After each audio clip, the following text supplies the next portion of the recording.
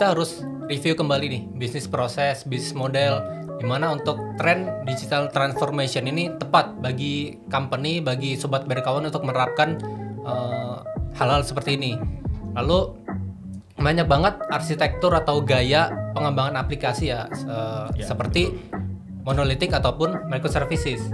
Nah, tantangan-tantangan yang dipakai oleh pengembangan aplikasi yang masih menggunakan monolitik ya seperti uh, resource consumption yang gede, sulitnya debugging ataupun build and testingnya yang masih uh, terhambat gitu kan.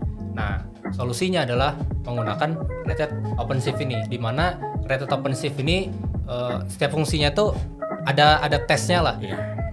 Lalu bisa mencegah bug-bug yang muncul di kemudian hari.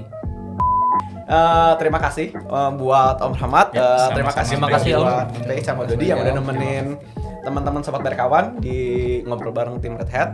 Eh, nanti ketemu lagi di episode Berikutnya. Tektok Berka Podcast selanjutnya ya. Jadi jangan lupa komen, subscribe dan juga kasih kita catatan mau ngobrolin apa lagi sama Om Rahmat atau teknologi yang lain. Oke, see you. Dadah.